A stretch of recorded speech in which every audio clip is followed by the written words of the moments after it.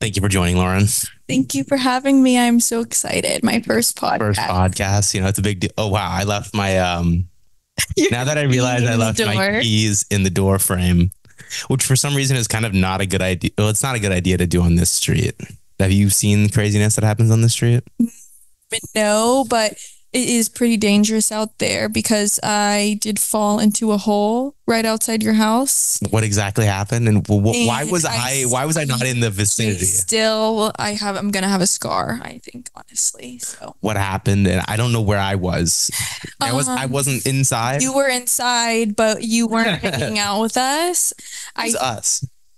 Who even was it? It was like me and Renessa and Griffin and someone else, I think some of my friends. And we had gone out and we came here um, to drop Griffin off before me and Renessa went home. And as I was like getting out of the car to say goodbye to everyone, like I was literally driving, I wasn't drinking, not doing anything. I just fell into this giant sinkhole right outside your house. And it was very embarrassing and bleeding, horrible. It's very Why was it embarrassing? because I just like ate shit basically for like no reason, just out of nowhere, nothing. And it just was not fun. I'm just no wondering why it was embarrassing. Was it like in front of an audience of people? And it was in front of everyone. That there was everyone. okay. It was in front of like four or five people. That's not that embarrassing. It's not like a, it, it was in on live TV. I mean, yeah, I guess. close friends that you fell in front of? Um yes it just it just was something that was unnecessary to happen i i didn't enjoy that feeling Yeah, it- of yeah. embarrassment Um, it was. It, it would never be necessary to fall into a ditch in front of someone's house. But yeah, Yeah. obviously. um i just wasn't expecting to take such a tumble i'm usually a cautious person so What happened? What was the agenda that night? What was something that was like out and about, partying? we went out in venice um we went to winston house and we went somewhere else i can't really remember but we were out for like quite some time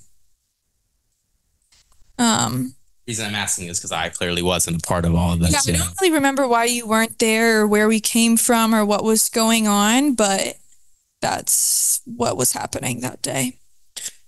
Um, are you? You didn't. You're from. Where are you from? I'm from Atlanta, Georgia. Like your whole life, you live there. My whole life, I was born in Atlanta and went to elementary through high school, same house, same everything, all in Atlanta.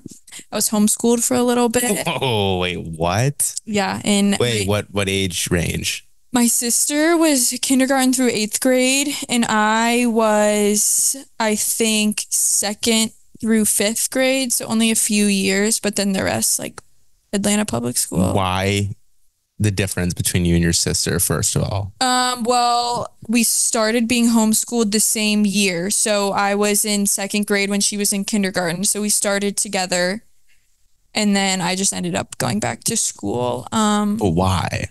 why was I homeschooled? Why were they like sitting there? The parents were like, you know what, Lauren, Lauren, you go back to be with the people, and you, other sister, you stay in the. Well, my, basement. my sister is very athletic, so she mainly stayed homeschooled because she was playing volleyball and tennis a lot, and they wanted her to keep doing that, and I was not. So Ah, they're like, I'll go to the public school. Yeah. Public school is pretty good though. I had the best time in high school ever. Like I went to all grade schools with the same people, basically, like elementary, middle, high, all the same friend group. So it was kind of like the best setup. I had an amazing experience in high school.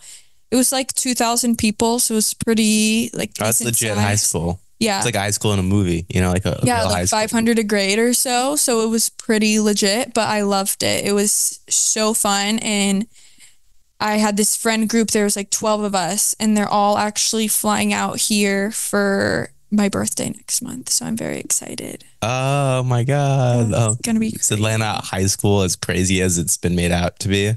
I used to date a girl who went to high school in Atlanta. Oh, really? Do Yeah. you know what high school?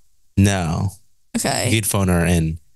Um, and yeah, we could phone her in. Probably not going to just for the sake of this really like random answer, but Yeah. I just heard it was It's crazy. unnecessary. It was crazy, and you you like you just like are more grown up there than kids in other places. Yeah, it's it get can get a little crazy, I'd say. There was definitely like a lot of fights, a lot of this, a lot of that, like a lot of stuff going on. But overall, super fun. We kind of got to like do whatever we wanted. There was not many rules. I if didn't want to go to class, I just wouldn't go. I would just take myself to and from and you could do like this dual enrollment thing where you could go to classes at Georgia State which like the Georgia State campus near me is like not the greatest, but I just would like not go to high school half the time and then just go to the Georgia State campus. So it was pretty fun. What would you do at the Georgia State campus? I took college classes for college credit. But like, why was so loosey goosey over in Georgia? Like, I didn't I didn't think that. Instead of like AP classes, you go here and you're like taking them at the actual college. Yeah, but I'm saying like you said you wouldn't want to go to class, you wouldn't just go, but then you're like, oh, I'm gonna do AP college courses. Yeah, well, I mean, like our high school, you could just kind of go, you could take whatever, do whatever. It was pretty up in Were the you one of those? Were you the oh, I don't study for anything, and then you get like a 98 type? Were you that one? Were you that person? No, I definitely was the get a 98 on everything person, but I wasn't just naturally good. I had to actually like put in a lot of effort, but I was for sure a try hard all of high school, like school wise, extracurricular. I was a cheerleader, the whole shebang. So it was fun. So then, University of Arizona. If I'm then I went to University Why? of Arizona. Why? Well, they gave me a full ride, which was very nice. And my grandparents are in Arizona, and I always wanted West Coast. So it was just kind of like that's where I landed on. And what happened? It just was honestly too big of a school. Like it's 50,000 students versus Pepperdine, which is 4,000. So it's completely different. I mean, I was in giant lecture halls, which I didn't like. It was just, there's too many people, too much going on. And it was just hard. So I still wanted to stay West Coast. So I came out here and then did four years at Pepperdine. So like, what was that first year? Like, you show up at Arizona like Mhm. August freshman year. What's going on over there? It's like 120 degrees. It's miserable, very hot, tons of parties, but it's different than partying here. I guess it's more rave uh, sort of vibe. It's everything's EDM, this and that. It's like very different because I was used to Georgia where you go to UGA or something and it's like live music at a bar and here it's crazy EDM music. So it's just a very big difference that I wasn't expecting and I thought I'd be fine, but then I realized like this isn't I prefer smaller. So I switched. How did you arrive on Pepperdine, Malibu? Did you know anyone? Or you like visited and you're like, I'm Um, Zoey 101. Uh, like what? Uh, that's the first thing everyone says is Zoey 101, but I actually didn't know anyone at Pepperdine. I didn't know one person. I just went on a weekend trip with my mom. And like I'm pretty sure you can't really transfer to UC schools as a sophomore. You kind of have to wait till junior year or that's what they prefer. So that kind of eliminated a lot of the schools for me and then I just Pepperdine obviously it's gorgeous. It's Malibu, it's on the water and it was small and I loved it. So that was the beginning and been here ever since. So I love it. What of uh? So like, any? Do you see any crazy shit at Arizona? Uh, Chaotic stuff. nothing like truly comes to mind. Just it's just a bunch of kids like being ridiculously crazy and immature, but nothing honestly, I didn't see anything out of this world. It was I was pretty to myself. I wasn't like going crazy at all the parties or anything. Did you ever go crazy at the parties? Not really. Yeah, it doesn't. See, yeah, Not really. you in this library. It sounds like. always in the library, constantly studying. You know, I'm a total bookworm. I knew it. I could tell. Honestly, that's the vibe I get. It's total Yeah, bookworm. bookworm? That's my initial impression. Yeah, that's what everyone says. Okay. So then you go and then like you show up there and then you become like like what do you what do you do what do you do when you show up to Pepperdine? Like how do you how do you become a, like a normal student there after like transferring? Like what is that like? Um, well, I lived in the transfer dorms. Oh, does Was- shit get rowdy in the transfer dorms? It actually was a little rowdy. So Pepperdine is like very Christian, dry campus, everything, girls in one dorm, boys in another. But the transfer dorm, it was like the first time they ever kind of did it is there was girls and guys in the same dorm, not in the same suites, but in the same dorm, same floor, everything. And it definitely like there was always some sort of commotion and that was the last time they ever did that was my year. But the transfer dorm was not that fun, but I joined a sorority right away, so I think that's how I like got in the loop of everything. And then yeah, it's pretty So sorority, like what's the deal with that? Why is it so like dramatic? And why is there stuff just like just so why is there drama? From what I've heard, there's drama. I like, mean- why is that always the case? Like, why can't, like, what? Why is there drama? Well, I wish there wasn't always, but I think sometimes when you just get a bunch of girls together, it, it can just get a little rowdy and cause commotion. But overall, my sorority experience was fabulous. I met like a lot of my best friends in mine, and I even went to a wedding this weekend um, for a girl in my sorority, and she married like a guy in the fraternity I was friends with, and so I got to see like a lot of people I don't normally see, but um, I it was great overall. I had a wonderful experience. What have you noticed that, like, in seeing girls, groups of girls hang out versus groups of guys hang out, just how they act generally? Like, do you see similarities that are just look different because of the way they express them, or do you see like, what have you noticed? Um, I mean, your friend group's like a little different. I feel like, um, from other guy friend groups or just from girl groups? obviously? um, from different girl. I mean, it's different with guys because I don't know. It's it, my friend group. What I don't even really remember the question. I cannot even remember. What is what are the differences you notice between how Oh. groups of guys hang out and groups of girls, you know, hang out? Um, with guys, it's like a little more casual. I I would say with girls, it's like very pre planned. Like, let's be here and let's do this and this is what we're gonna do. Like, we kind of have a more set in stone. Where I think with guys, it's a little more like whatever, go with the flow. That's a little different, but I feel like it's honestly um pretty similar. There's not like any major differences. Um, my I mean most of my girlfriends aren't very dramatic. We're all super fun. Like we do whatever whenever we all invite each other to other things. Are you not believing this? I like how you think that my group of guy friends is more dramatic than You guys are like a little I would say like a little more than typical. how so? I don't know. I just feel like oh there's always something, but like what? I don't know, like nothing specific. It's just you guys are very. I guess the difference is you guys have known each other forever. You're a very tight knit group. You've been friends since elementary school, I would say, for most of you guys. Versus like my friend group here is people I've only known the past few years. So I guess that is like part of the reason why it's a little different. Is you kind of you guys you guys are family versus I've only known um, my friends out here for a few years because I've only been here a few years. It's a like, little your- different. Your friends that are visiting from back home, they're like your version of that. Yes, my friends that are visiting are back from back home are just like that, and I would like describe our groups as the exact same. Like when we're back home, we've just had so much life experience together that we kind we just like know everything about everyone and and how we interact and everything. Like without saying their name, like describe the most chaotic one from back home. Oh gosh. I mean, my friend group was a little dramatic always. Um but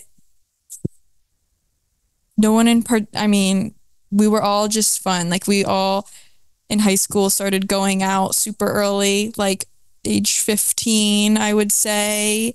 And going out in Atlanta, you go to the bars like and you sneak out of your house and you like go to Buckhead and we but we all did that. Like it was just kind of Buckhead. Buckhead is like a um like a nice it's not as nice anymore, but it's like a nice area um outside of Atlanta. And it's like where all the bars are, so that's where everyone goes. So like, what was the? Did you get you all get fakes in high school? That, Yeah, I mean literally at you had age to. at age you have everyone everyone did at probably at like age 15. I remember I got mine through an order my sister did with her college friend. Mm-hmm. Went off to UCLA as a freshman, and I was like, "Oh, this is so cool!" I was the first one of all the guys to get the, fake. Yeah. So I was the first one to go and try to buy it. It was it was was a badge of honor that I wore for a little while. It definitely, since we got them so young, it got a little crazy when we were almost 21, like near 20. And then our fake ID says like 26 because we've had it for five years. So that was kind of an issue later on. But um, Have you ever gotten one taken? um, I don't think so. Um, no. I feel like guys get them taken more than girls. I think for us in Atlanta, it really wasn't that strict. You kind of just had to give them something, and they weren't like too fed up about it. So why do people say that like going out and about in Atlanta as a high schooler is just more crazy? Is crazier? Is it really there much merit to that? Is it that does it seem like it's a place where Um, people grow up faster, so to speak? Yeah, I, th- I think there's just a whole but like a whole different bunch of people, different walks of life in Atlanta, like a bunch of a bunch more going on than LA, I'd say. I don't know, LA What do you just mean? What do you mean more going on? Like there's like a variety. There's like rednecks and there's like Yeah. people. Is it like rednecks? A lot of rednecks. no, I mean I that's people It's either like North Georgia. Maybe that like the country. Like what's the difference between like were you like in more of like a normal suburb as There's- opposed to like the country outskirts? There's That was a huge difference from Atlanta versus like the state of Georgia. So it kind of depends if I tell someone I'm from Georgia, sometimes they just like assume farm life, like I'm from the middle of nowhere. But if I say Atlanta, that's like a huge city, like it's very metropolitan and I was outside of the city like in a re- in a regular typical suburb. Um but yeah, there's not a lot of rednecks where I'm from or in Atlanta. That's more like North Georgia, South Georgia, getting kind of close to Florida, um, that kind of stuff. yeah. 'cause I had this fraternity brother slash teammate in college named John Allen.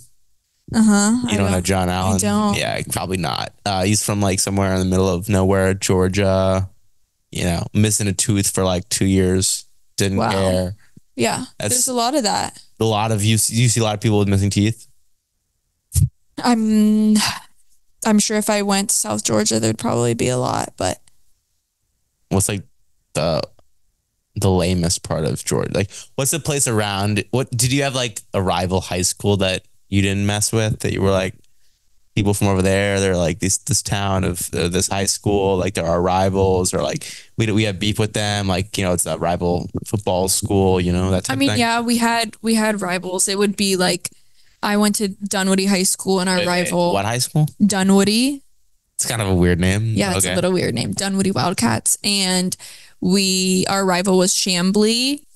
So, but we didn't even have our own football stadium. So our football stadium, we would use Chamblee's. So it would kind of be like both of our home games. It was not an ideal setup. Like we, our school just didn't have money for a football field or anything. But um, there definitely would be tension and there would be like cheer offs, you know, you see in the movies. It kind of was that in real life where like a girl would like do back handsprings into the other team and kind of like show her a little attitude. And like we would Wait, wait. You would go back and forth between the two Yeah. teams. back and Were forth. Were you the one who did the flips? um, I was not. always one. I could. I was not causing any of the drama. That was No, for you do the flips though? I could do back handsprings, but not flips. So you could go run and do like the, the how many back handsprings? One. I was Oh, not. that's lame. Yeah, Sorry, it is pretty lame.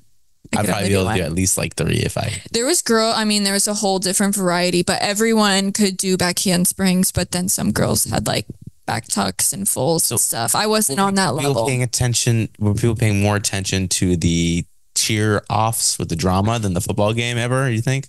People, I think, paid more attention to the cheerleaders because our football team was horrible. I think my senior year, we didn't win a single game. We were like 0 and 20 or something. Sounds like Malibu High. yeah, it was, uh, it was pretty disheartening because every time we would cheer, we just like knew we were going to lose. So it was kind of like a, you know, but yeah, that was football and cheer in high school. Yeah. Well, um, you didn't have any of your Diet Coke, by the way. Oh, should I have some now? I mean, sure. Oh, if I you dropped want. the coaster. Um, we both have bonded over Diet Coke, which I think. How did you great. get into Diet Coke first? Do you remember? It was like a pivotal thing. My dad always drank Diet Coke, so therefore I did. Um, I don't really know how I got into it, but I think it tastes better than regular Coke, and it's just so satisfying sometimes.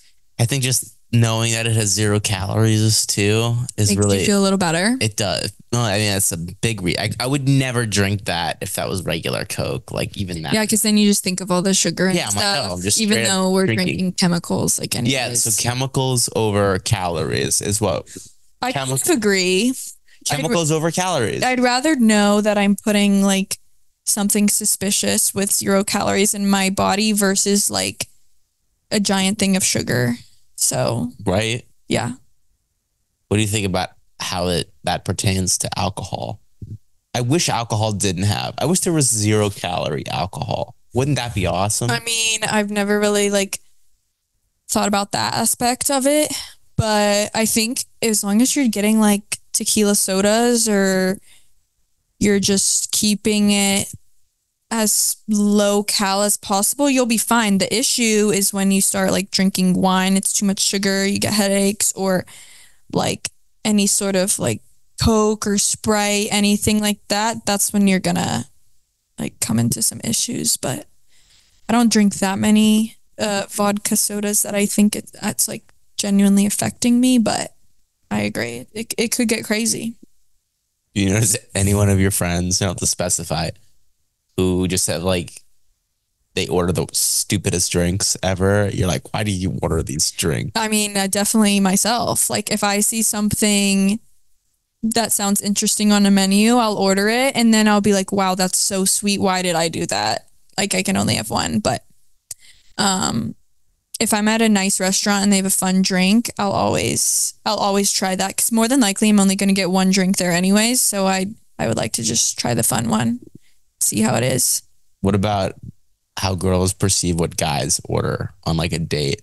Is that a big factor? Like, what if a guy orders a weird ass drink? You're out and you're like, motherfucker orders some like I don't know something that just is weird. Um yeah, I mean, I would take that into consideration what someone's What would be weird for a guy to order on a first date? Like a weird drink that's just like like a huge one with like a huge demonstration of something with like an umbrella in it or something that comes with like a sparkler like something that's making a scene or that's really dramatic i they should Imagine just- guy first time meeting a guy and he has a sparkler drink like a club. Yeah or he orders thing. like a frozen like some sort of weird like pina colada or something like well i don't even think anyone would do that but if they did i i would Can think I have that's a pina colada. i think that would be super that would be so funny.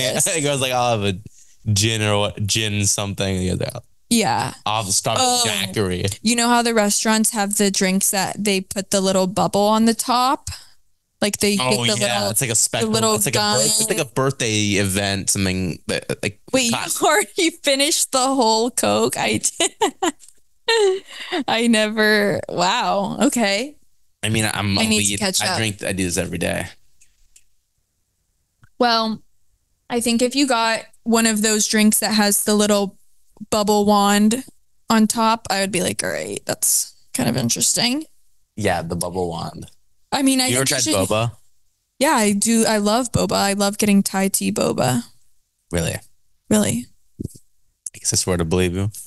It's good. I I, I like those- Thai tea boba What are those things though? Tapioca, What are they really though? tapioca balls. Like what is it though? like tapioca. Isn't that like a?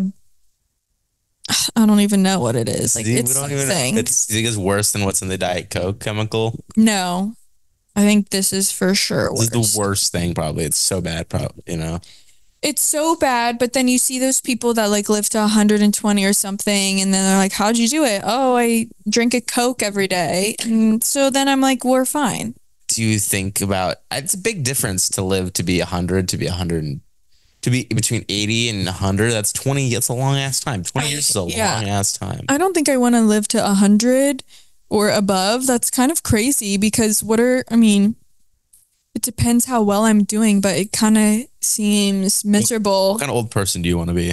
Like if you if you had to, you know, just be an old person straight up. Like what what would your What vibe be? What would your Um, I think I'd be a pretty chill. I mean, gosh, I don't know. I don't want to be in a nursing home or anything like that. Like, I hope someone's going to take care of me and like wheel me around town at least. I want to be going to everything still. So, gosh, I don't know, but it definitely scares me. I don't want to be old and like immobile and not doing anything in my life. yeah? I think I'd be like a cool old dude. Yeah. Yeah, like a surprisingly cool dude. Like I'd look like one, but then like I do a little like joke telling or storytelling, and they'd be like, "Whoa, like kind of cool dude." Do you think you'll have a lot of grandchildren or what are you thinking? I'll probably have a few. Yeah. Like a really cool grandpa that would like sneak you sneak you candy, Yeah. like old not like a candy? crazy amount, but like just a little bit to be like, "Hey, I'm cool." Like here, like I'm giving you candy when you're not supposed to have candy, like before Yeah. dinner, or like that kind of cool grandpa. Yeah. You know what I mean? I mean, I'm saying that's one of my one of my grandpas used to do that. He used to be like, "I got you some candy," and it would just be like a piece of candy, but it would be But you remember presented as like this super special, like, "Oh, you're not supposed to have candy," even though it wasn't that big of a deal, but it was a big deal. Yeah. You know what I mean? Yeah. Like, you think you'd be like an old grandma with like butterscotch in her purse, kind of vibe? Mm, My grandma literally has butterscotch in her purse and these like weird strawberry things. That's They not have going to be little. me. They always have those little weird candies. Yeah, I don't think. Well, I hope I'm not doing that, but I think I'll be the grandma with the candy as well. Or my grandma always like slips a twenty dollar bill, like when I leave, or she's like, "Here, just just go," or whatever. And Just go. yeah, You're like, just those. get out of my fucking house. yeah. So I'll probably do that as well.